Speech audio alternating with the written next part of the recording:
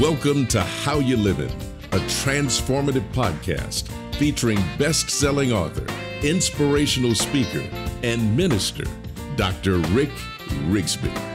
And now, Dr. Rick.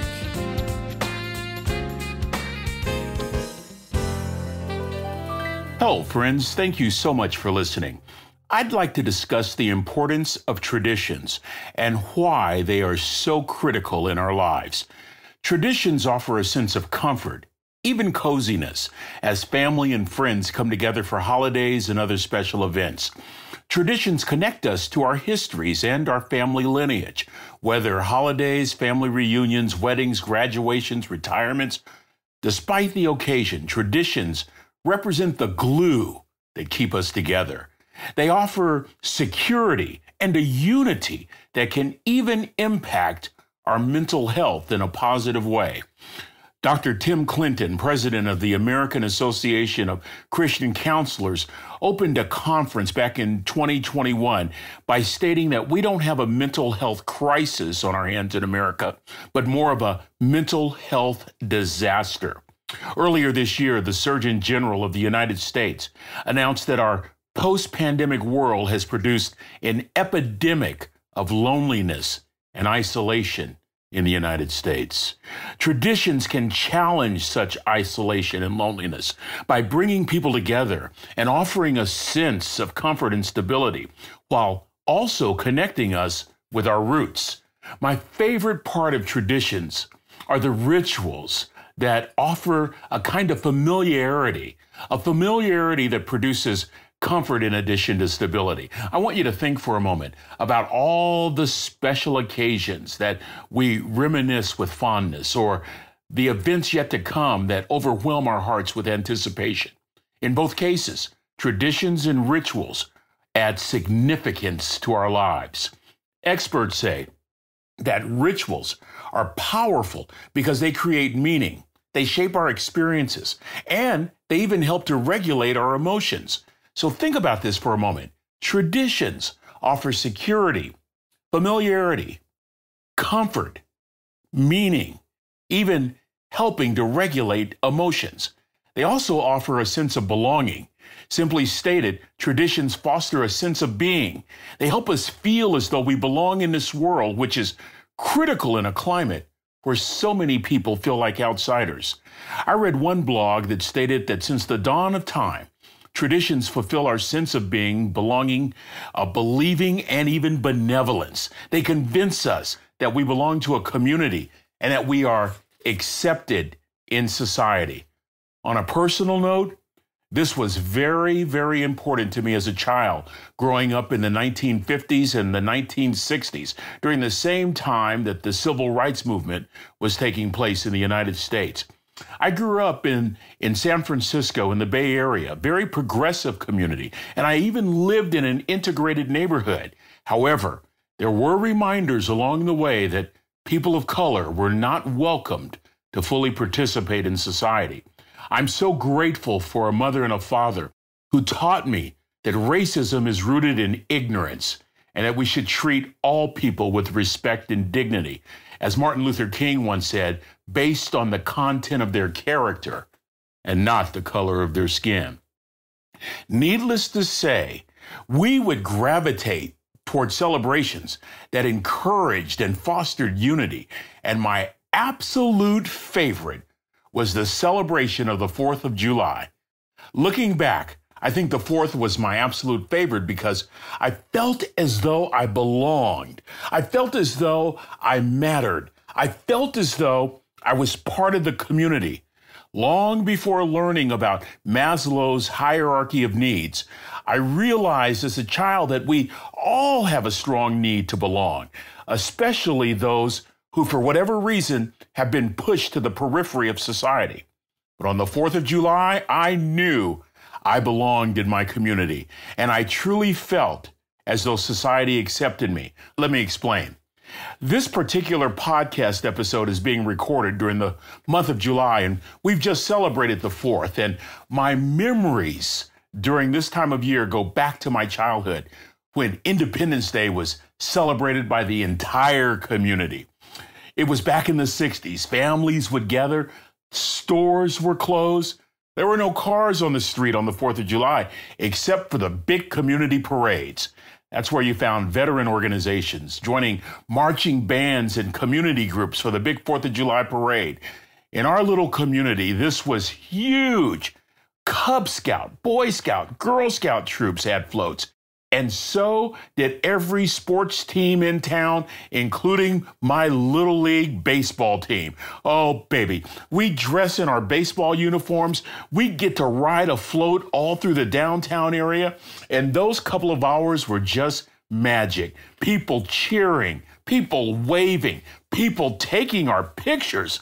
I felt this overwhelming sense of belonging, belonging to something much bigger than myself, even bigger than the things that sought to divide.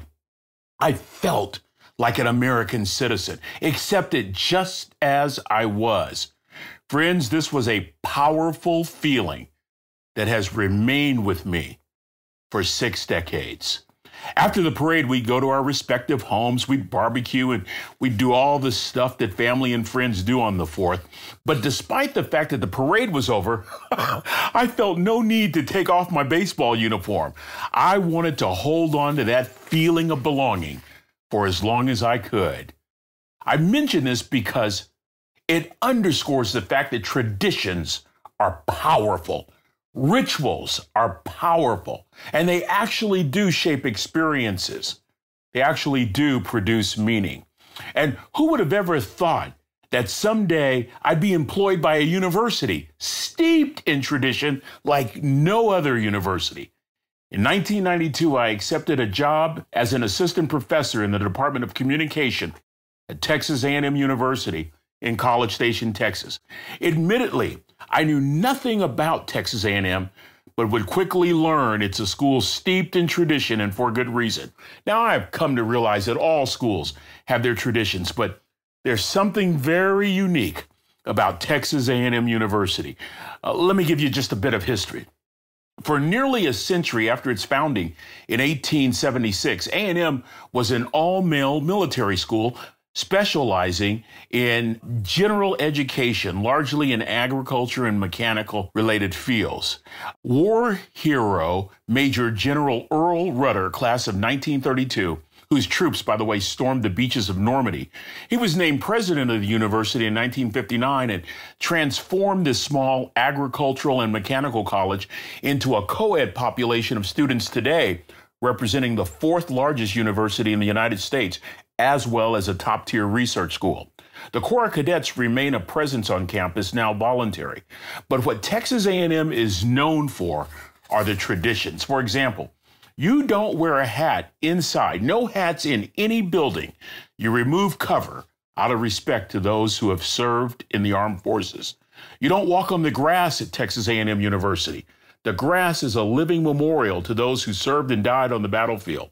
In sports, we are the official home of the 12th man. That tradition was born during a football game in 1922. That's when the underdog Texas A&M Aggies were playing a top-ranked team and they were losing players left and right and going well into their depth chart. The coach, Dana X. Bible, remembered that he had a squad man who was not in uniform. Actually, the player, E. King Gill, a legendary name in A&M culture, was in the press box Gill was in the press box helping reporters identify players on the field. Plagued with injuries during the game and with reserves dwindling, Coach Bible remembered Gill and waved him down from the press box to the sidelines and told him to suit up.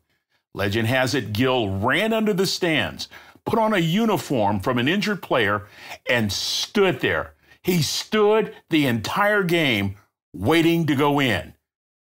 As legend has it, the Aggies came back and upset this highly ranked team. But Gill never went into the game. But he was the only player left on the team bench. A new tradition was established. Gill stood. He stood the entire game at the ready. This story has been passed down to Aggies for every generation for a century, as the entire student body today stands for every football game, every basketball game. It's a symbol of the 12th man standing at the ready to go in the game. When I first arrived at Texas A&M, I had a rather skeptical view of that tradition as well as all the others. Most outsiders don't understand. But after 15 years as both a teacher at the university and a member of the football coaching staff, as life skills coach, as well as chaplain, the traditions, each and every one of them, move me in ways hard to explain. For Aggies, these traditions mean something very special. They remind us that we belong to something much bigger than ourselves, something that is rooted in the history and the fabric of this great country, something that goes way beyond income or educational level or color or gender. We are Aggies. The Aggies are we. The comfort, the security, the sense of belonging, just priceless. Friends, please, please, please don't take for granted holidays, family gatherings, special days in life. Don't take for granted the rituals and the traditions. You may not realize it at the time, but your life is becoming richer as a result of you commemorating the moment. And you're linked to something, something bigger than you, something that offers great and significant meaning for the rest of your life. And I think in this present day, in light of everything seeking to divide us, I think we all could benefit from celebrating traditions. It may be just what our collective mental health needs. Well, that's going to do it for this episode. Until we meet again, this is Dr. Rick asking the most important question I can ask How you living? Are you ready to make an impact in your world right now? Do you want to stop existing and start living your best life right now? Dr. Rick wants to give you the first chapter of his best selling book, Lessons from a Third Grade Dropout, absolutely free. Just go to www.rickrigsby.com forward slash free gift to get the print or audiobook right now.